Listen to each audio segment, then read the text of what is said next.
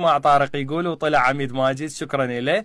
آه هو الاجتماع أصلا موجود لخدمة المواطن فأكيد هو رجل إنساني مثل ما أعرفه واكبنا لي سنوات طويلة وإن شاء الله حل مناشدة المواطن محمد إبراهيم اللي أيضا آه تابعها عبر البث السيد اللواء الدكتور سعد معن المحترم مدير دائرة العلاقات والإعلام واللي وجه بإنجازها بالسرعة. خلينا ناخذ هذا الاتصال. ألو؟ ألو نعم صباح الخير. صباح الورد أخي الكريم يا مرحبا أهلا وسهلا. منو معاي؟ اني محمد إبراهيم من أربيل. محمد إبراهيم من محافظة أربيل الحبيبة من كردستان العراق الحبيب. يا أهلا وسهلا بك أخي الكريم. نورتنا باتصالك أبو جاسم. تفضل. أشكرك عيني. العفو كان عندي استفسار بالنسبة للجواز الإلكتروني. نعم. مثلا المواطن اللي بالبطاقه السكن مالته بأربيل مثلا يقدر يطلع مثلا جوازه الإلكتروني ببغداد أو غير محافظة له إلا لازم نفس المحافظة. هو حاليا يعني الجواز الإلكتروني فقط ببغداد وأي محافظة طارق افتتحوا بالمحافظات في طور أن يفتتحون إن شاء الله. هو مفتوح بالنجف أي وبالبصرة أي افتتحوا بالنجف أنا أتذكر نعم أربيل ما افتتحوا لكن إن شاء الله يعني بطريقة الافتتاح أيضا موضوع الجواز الإلكتروني، الجواز الإلكتروني إنه على بطاقة السكن، لكن كحالة إنسانية موجود مكتب جوازات قسم جوازات الكرادة بالمقر العام. إذا حالة نعم. إنسانية ما أعتقد يقصر السيد العميد ماجد عدنان أحمد وياك. أها أوكي. وإذا رفعت معاملة باربيل شنو اللي تحتاجها؟ حاضرين يعني إحنا متواصلين مع كل إخواننا إن شاء الله. شكرا نعم. جزيلا عميد ماجد معاي طبعا انضم بالجو راح نحصله إن شاء الله. حصلت لنا إياه؟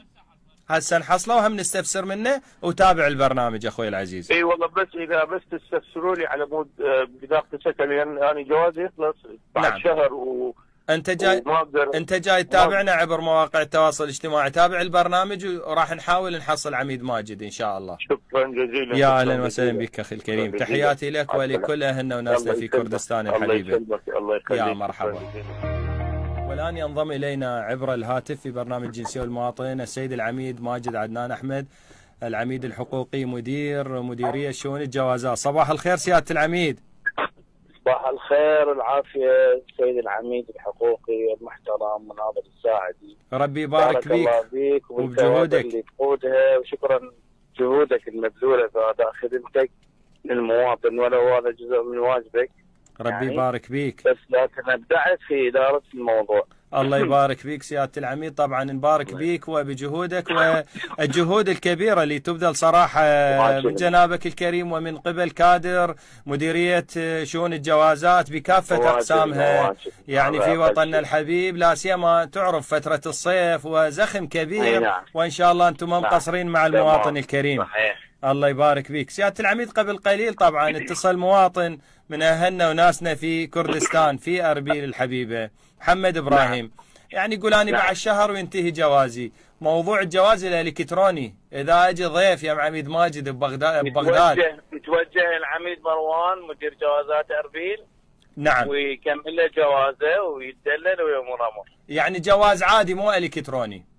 جواز عادي يتوجه العميد مروان يتدلل ويأمر أمر. وإذا ضرورة نعم. طلب حصوله على الجواز الإلكتروني أهلا وسهلا ويتدلل والله يريد يجي يريد يجي بضيافتك ببغداد وأنت أهل الكرم والضيافة. أهلا وسهلا ومرحبا. نشرف والنعم. راح يكون ضيفك إن شاء الله ببغداد ويوصل الطارق يوصل جنابك. شكرا شكرا, شكرا لك سيادة العميد. كل التوفيق يا رب. موفقين إن شاء الله وفي ميزان حسناتك. شكرا. لك سيادة العميد. الله يبارك فيك. اذا شكرا للسيد العميد ماجد عدنان أحمد العميد الحقوقي البطل اللي متعاون معنا وصراحة يعني شهادتنا بمجروحة من خلال الخدمات الكبيرة اللي يقدمها للمواطن الكريم من خلال عمله وجولاته الميدانية على دوار الجوازات في بغداد والمحافظة.